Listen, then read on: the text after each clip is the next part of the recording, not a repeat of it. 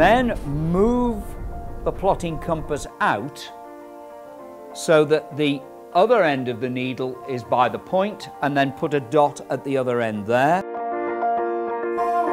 I'm studying science with specialism in physics. Science as a whole, I think, is a fascinating subject, and physics really just underpins all of them. It really helps you understand how the world works, and I think that's something that it's quite easy to be passionate about and to sort of pass that passion on to the kids.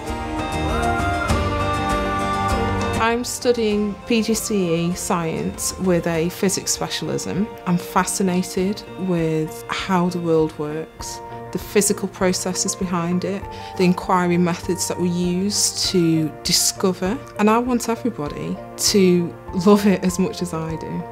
If you um, put the infrared gun onto that, what, what sort of temperature have we got that iron at now? Okay, 151.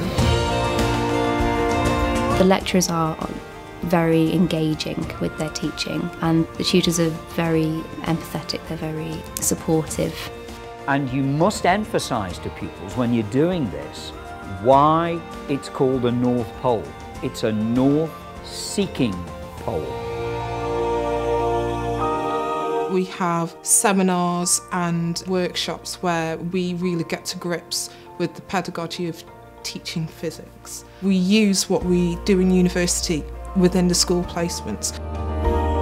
There's so many different things you can do. It's not sitting in a classroom talking at the kids. It's we're going to talk about this today. Look, now I'm going to show you it. And it's very physical, it's very tangible. You can show them how the world works on a miniature scale.